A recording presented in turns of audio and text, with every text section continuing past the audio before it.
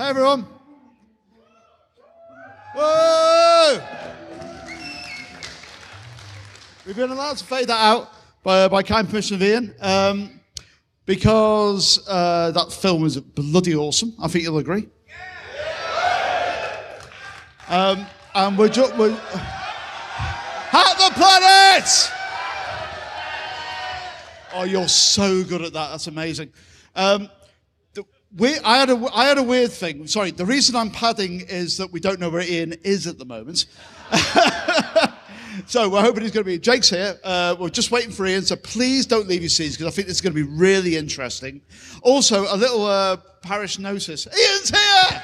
Hey!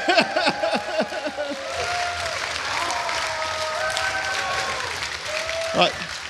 So, little Paris notice. Uh, you may have noticed the film was stuttering a little bit in the more complicated scenes. Uh, the reason for that is we discovered is that between this HDMI connection and the projector, there's like 10 devices it goes through. And one of them wasn't happy. And the reason it wasn't happy was we were fortunate enough to get the Blu-ray master copy of this film. What you've just watched will not be released to the public until November on Blu-ray. The very first time in the UK, uh, Hackers has been available on Blu-ray. I know, awesome, right? And uh, if, uh, I, I, don't think Iain will mind me mentioning that Iain's actually going to um, go with uh, Mark Kermode uh, tomorrow, and he's going to do. Mark Kermode's going to do a whole commentary on the film. Uh, that's going to be on the Blu-ray, and that's a, you are the first people to hear about that. Yep. So the problem we had is that the file we were given is the uncompressed version that is mastered for the Blu-ray. It was 136 gig. and that's what you just watched. So it's not really surprising that a few devices on the way thought, oh, fuck this. yeah, okay. Right, so what we're going to do now is uh, we're just going to reset the stage, and Jake and Ian are going to join us on stage. You've been tweeting your questions. We've got those. They're awesome, some great questions. And they're going to have a chat. They're going to tell some stories and also answer your questions. And uh, hopefully my, my beautiful assistant, uh, aka my wife Trish, is going to bring those up to us very, very shortly. Oh, she's right there. Hello. Awesome. Um, for a little extra treat, after we've done all this, there's going to be a second showing of Tent Man, which is the film that was made at EMF in the past uh, 2016, 2014. And uh, it was shown last night for the first time. And he said, that's the absolute finished final version. And now tonight we're going to show the really absolute finished final version. Uh, so there's a little extra treat coming on the way there. But what I'd like to do in the meantime, if we're all mic'd up, uh, I'd like to introduce you to the stage, Iain Softley.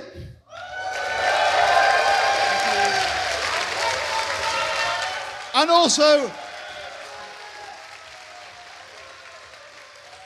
Jake Davis.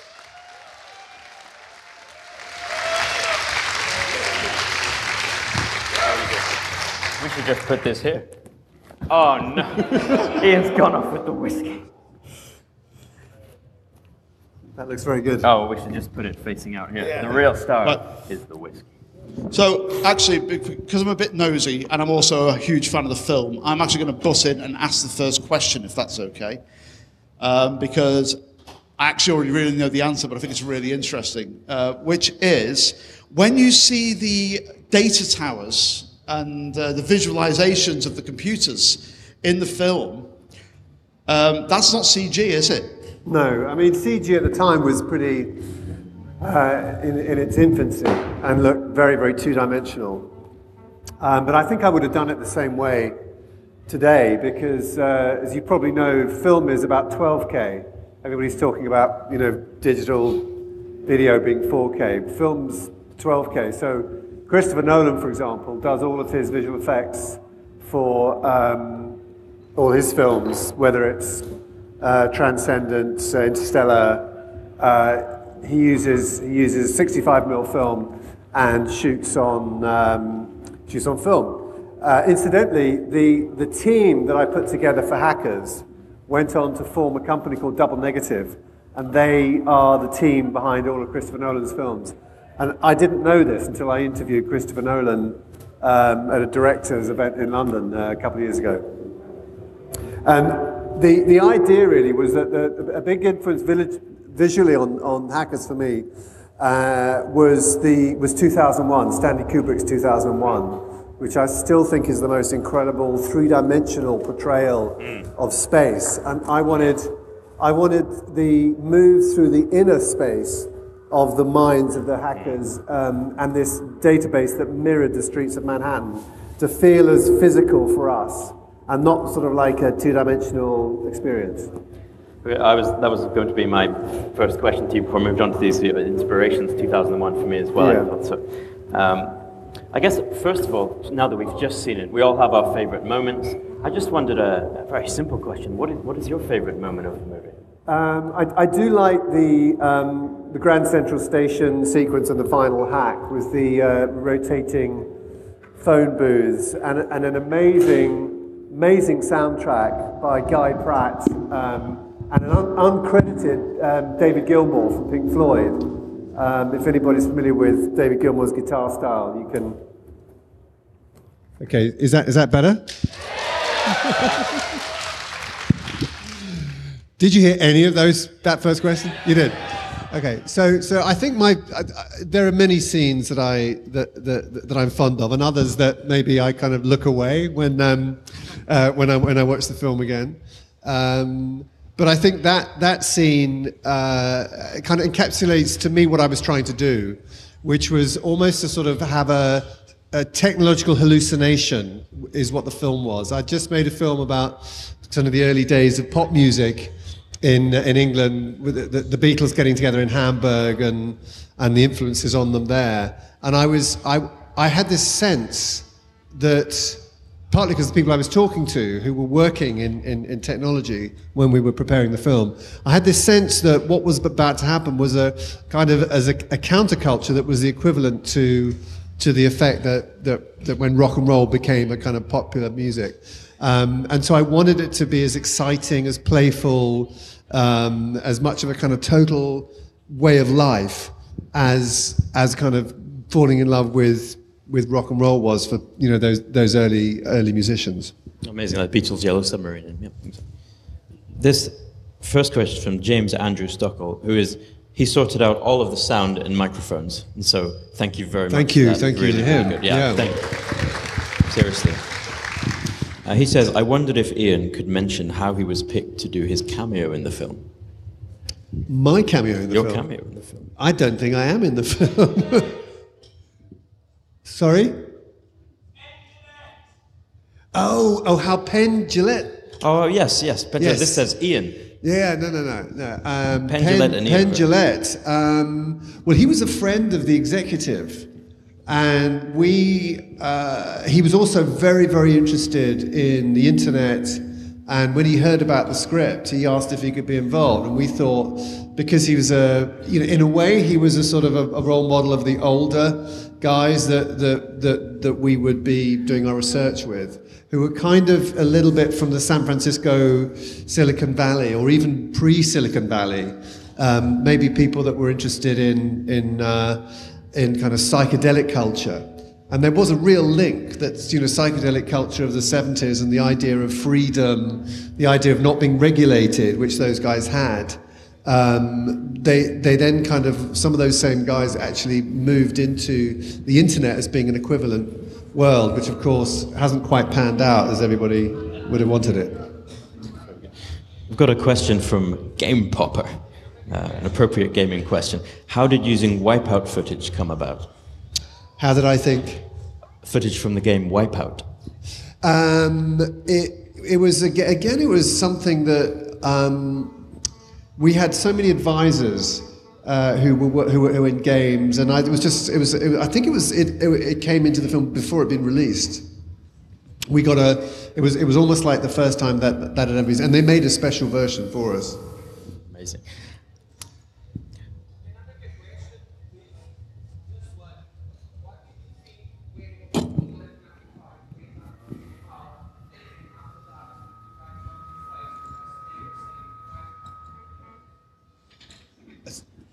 Sorry, could you repeat you the question? Microphone?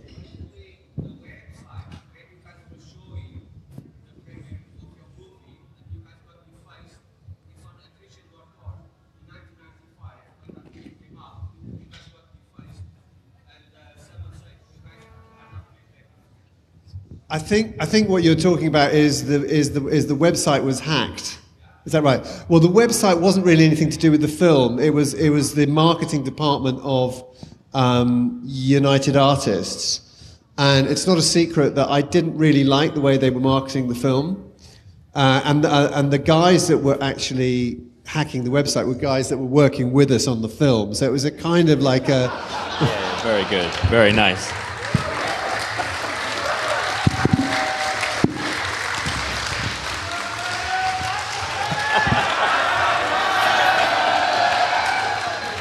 none of you guys are on social media, are you? No, no, no, no. no. This is I've never, because I, I don't think I've ever said that It's before. Keep happening. Okay. Speaking of So hacking, just amongst us, yeah? Speaking of Hack the Planet, I like this question because it, it contains the words Hack the Planet in capital letters. It's from Chrissy Swordfish. Loved the film and gave me this question, gave this question some very deep thought. It often keeps me awake at night. How does one hack the planet? Well, it's a kind of philosophical question, I think, uh, that everybody can um, experience on different levels of, of existence.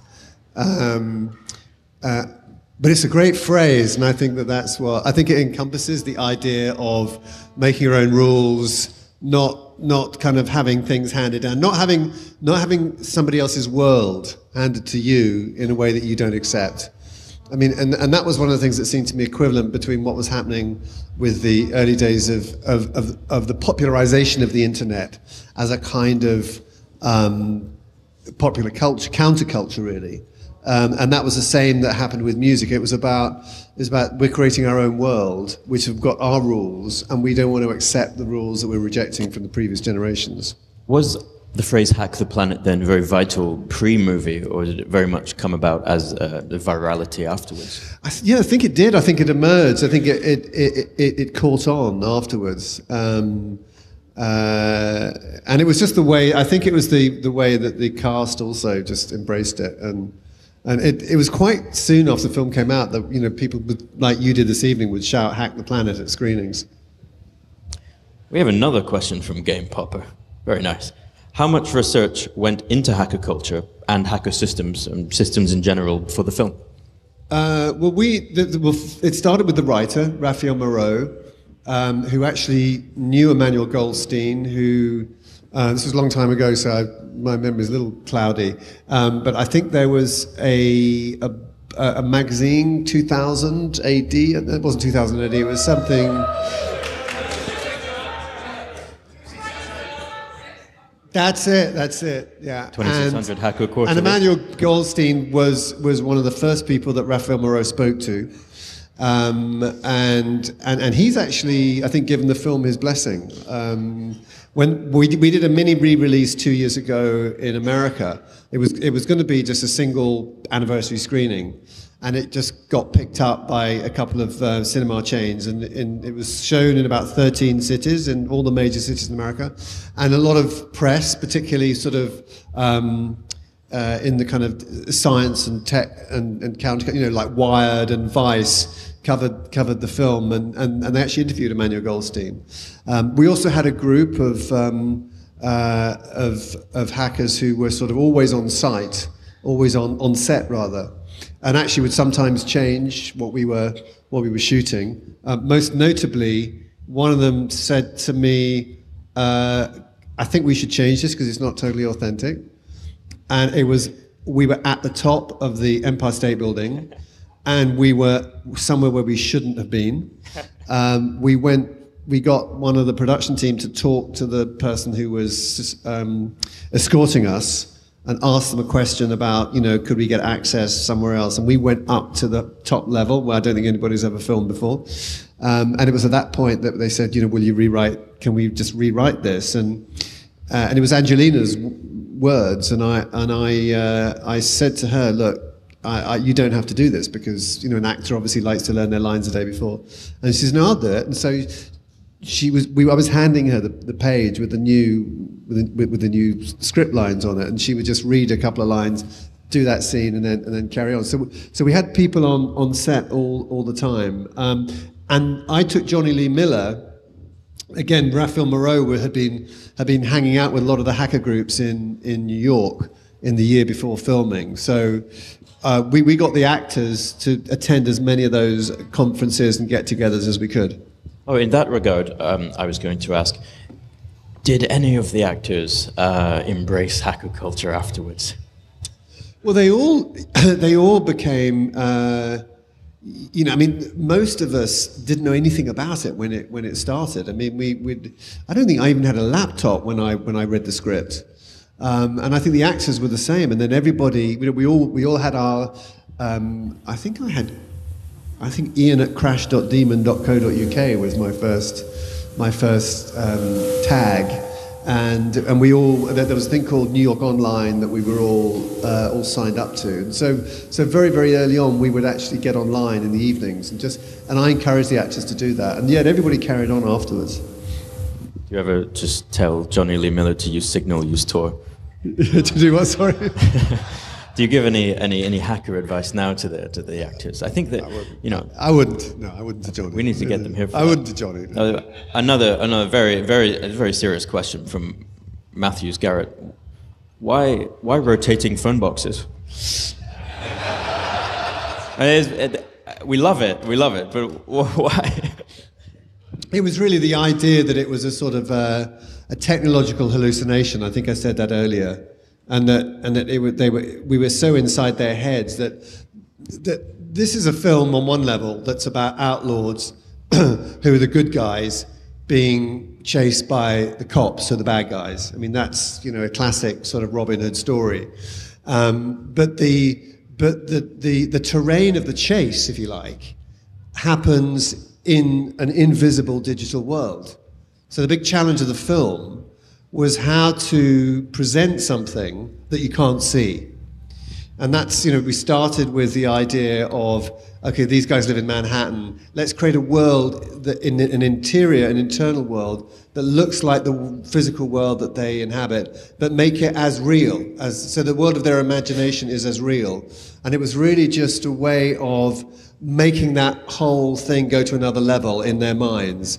That this was a level of concentration and a level of excitement that there was that had to be a climax of the film. Um, and as I said earlier, I'm, I'm, I'm kind of pretty pleased with it. Do we know how much time we have left? Oh, oh, oh, no, this is very tough now.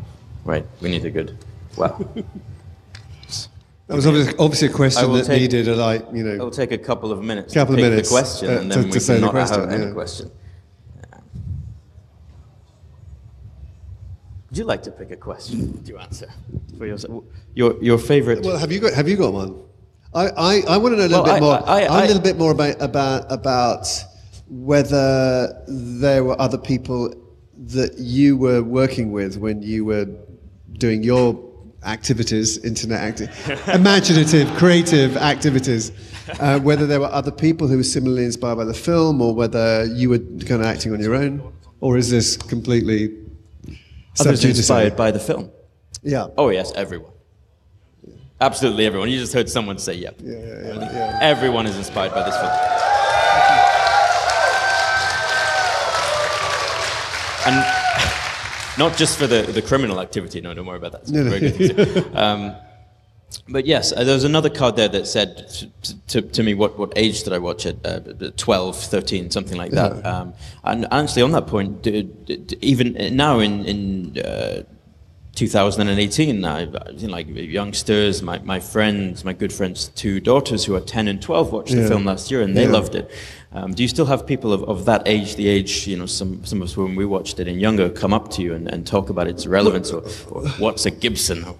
Well, I think the I think the um, the thing that's strange about the film that that I I, I, I don't quite know the answer to this one, and I and I um, I hadn't seen the film until I watched it on a big screen at the Prince Charles screenings in London two years ago. I hadn't watched it for ten years, and it, and it struck me that fir- first of all that that there are many things that are quite conventional about the storytelling, and that it's really about a group of friends who are adversarial and trying to get one up on each other at the beginning, and then they then they they they put aside their differences, and the and the individual um, suppresses their own. Um, well-being, if you like, you know, risks being caught in order to support the group and help their friends. And I think that's a very uplifting message that the that the film has. But I think in terms of the age groups, um, the, the, story uh, takes place with, I guess, what we would call six formers.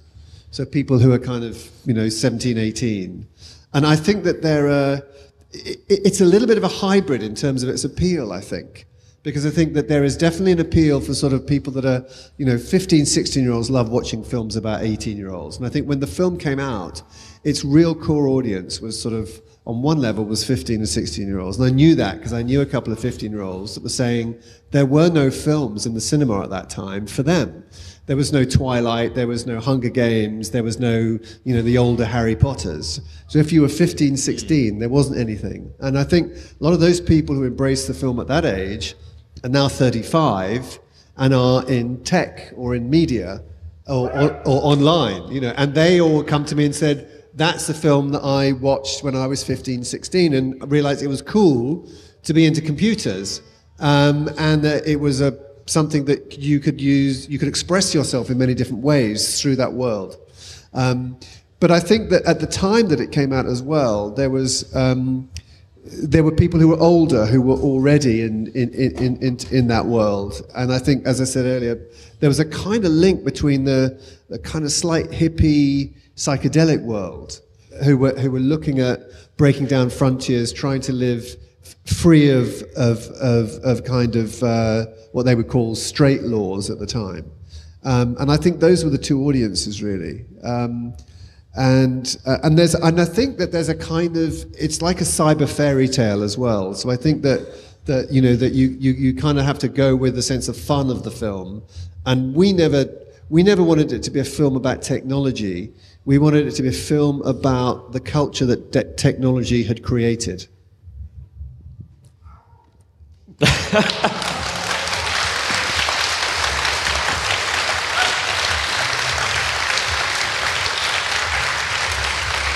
It's just, just told there's time for one quick one. You're going to hate me for this question, but so many people have been asking me today to ask you uh, another Hackers movie. Well, I mean, we do, we do get asked, um, and you know, on one level, it will be fun. Um, I suppose the question is, would we get the cast together? Um, you know, would would would, would they be? Uh, would they all be kind of security heads of you know uh, um, American Express now, and or maybe one of them would be, and one of them would be uh, would be kind of outlawed in uh, a tax haven somewhere. So yeah, I mean, there's you know, hey, this is we can carry on and get get a story going here. Um, get it? What? Sorry. The band, yeah, exactly. Yeah, yeah. Will they reform? Will the band reform?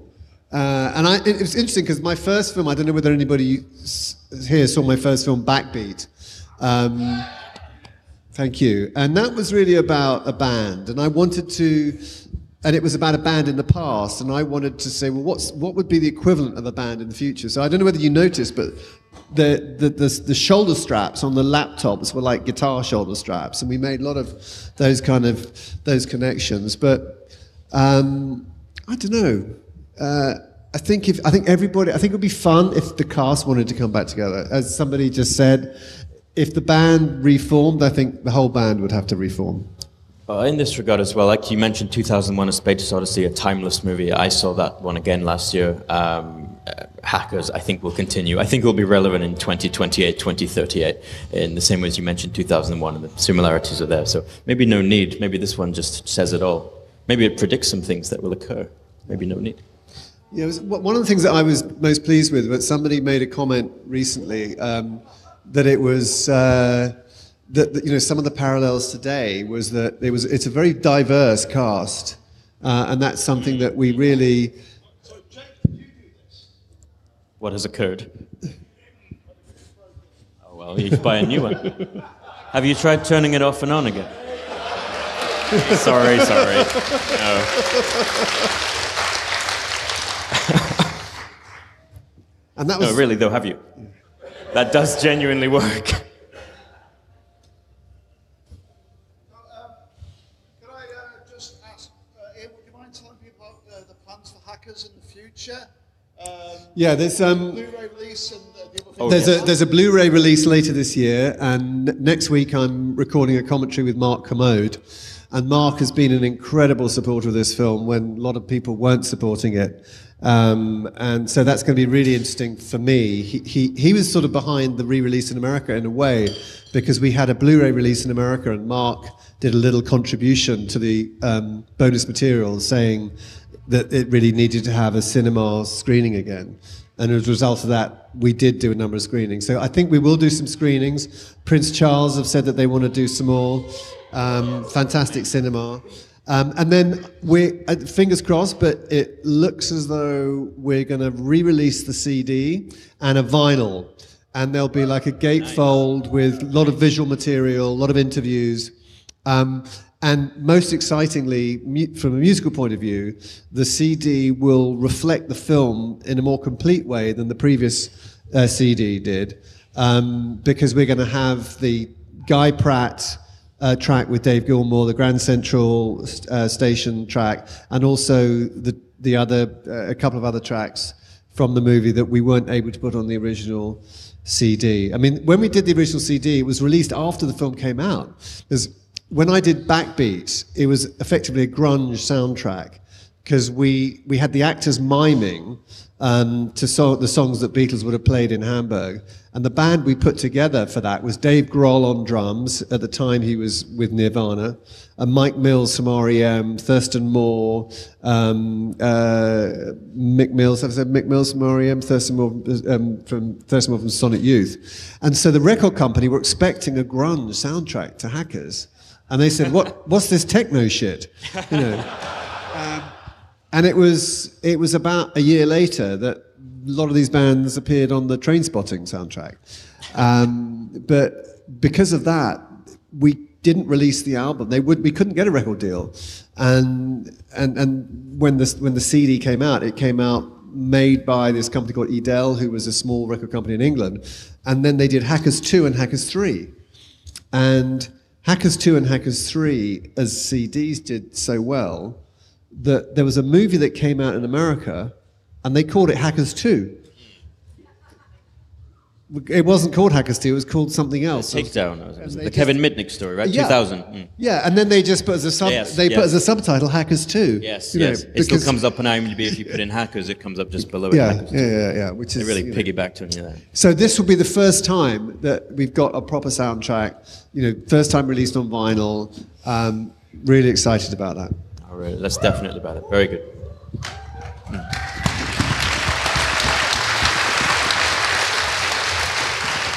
You, uh, I, I just want to. I just want to say.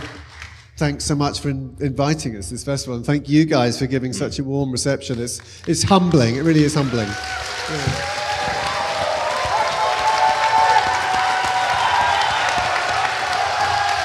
And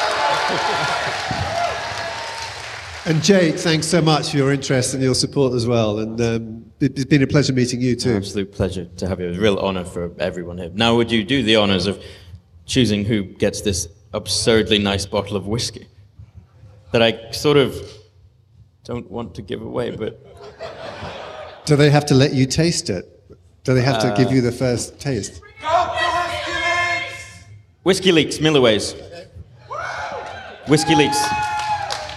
So, we can't see anything from here. Um, did, did anyone uh, have a costume? We- Should, we, should people come up on Yeah, stage? yeah. If, if anybody is in a hacker's costume, can they come up? If you here? want to, uh, someone pointed out on Twitter very correctly, if you would like a non-alcoholic prize, we have a few uh, Raspberry Pi powered computers, Pi tops with a nice power rail, very nice.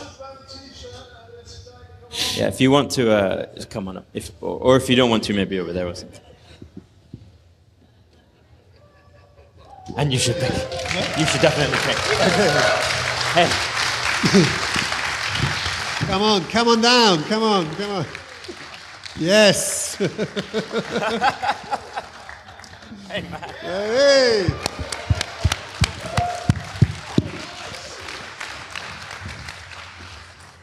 Anybody else coming forward? if you you win if you're dressed as the Gibson. Very good.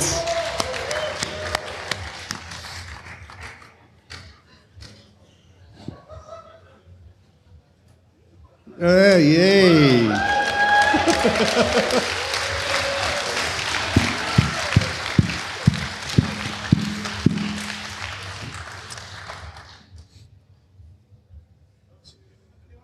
yeah, there's got to be somebody else.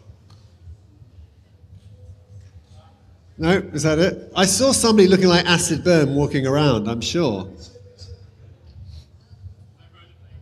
There are those.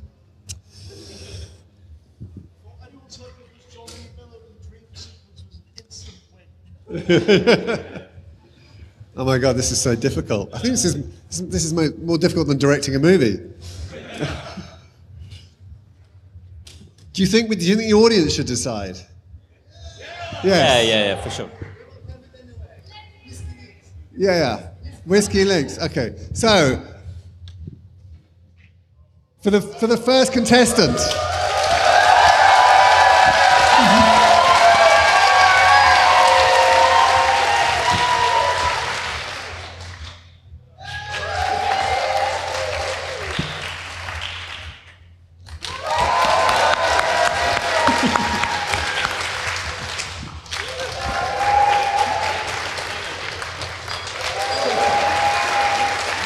Okay, I don't know whether you agree, Jake. I think the two women, it's, a, it's going to be a clap off. Yeah, agreed. Okay, one more time for, what's your name? Hannah. Hannah. For Hannah.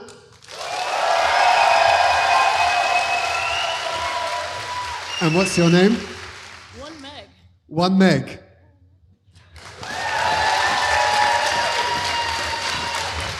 Okay, it's very, very tight, but I think I agree with the audience's uh, conclusion, verdict. It's Hannah.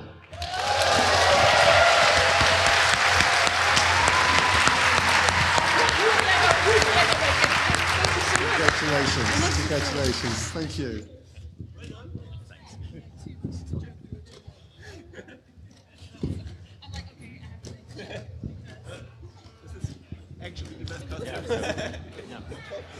And thank you again, Iain. How are you? Yeah.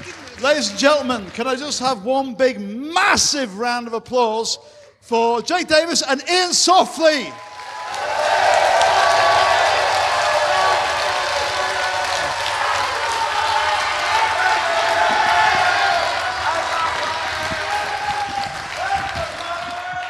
Seriously, we are so honoured for them to have taken the time out of their busy hacking schedule to come and visit us and spend time with us this evening. It really is an honour. Uh, for the rest of you, I thank you so much for coming along and packing this entire place out. We're really honoured. I'm sure Iain's been delighted by you all, all coming along. Uh, we're about to show Tent Man in about five minutes if you want to hang around for a little bit more. Um, and also, if you want to actually live in the whole hackers um, world, that you need to get over to Cybar in the null sector over there because it's just like walking straight in there. Final thing I'll say is tomorrow night we're showing Hidden Figures at 8 o'clock and about 20 past 10, Caesar Sings the Blues. And if you haven't seen that, you haven't lived. Thank you so much for coming along again and you have a great night at EMF. Love you all. Night night.